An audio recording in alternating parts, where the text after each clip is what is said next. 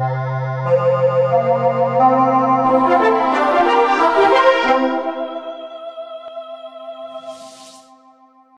godzinie 9 rano rozpoczęły się egzaminy gimnazjalne dla uczniów klas trzecich. Dzisiaj część humanistyczna z zakresu historii i wiedzy o społeczeństwie, a po przerwie z języka polskiego. Zapytaliśmy uczniów o ich emocje przed egzaminem oraz wrażenia tuż po jego zakończeniu.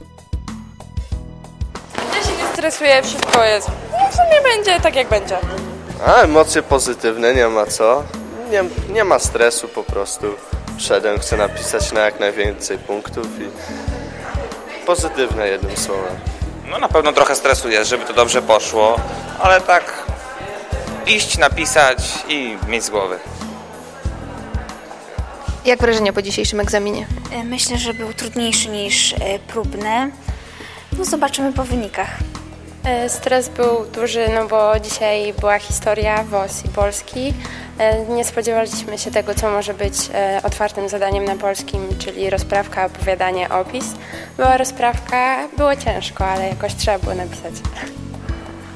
No, na początku historia tam z WOS-em, no to tak średnio było, ale później z polskim to już tak w miarę, no, ta rozprawka na końcu niby nic się nie wiedziało jak to napisać, ale jakoś dało się radę. Miałam problemy z historią, ale z polskim myślę, że w miarę sobie poradziłam. Poza tym, że był bardzo trudny, to nawet w porządku.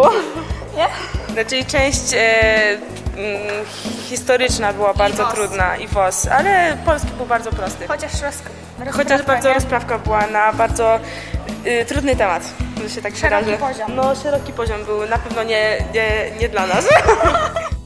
Jutro kolejne zmagania egzaminacyjne z zakresu przedmiotów przyrodniczych i matematyki, a w czwartek z języka obcego nowożytnego.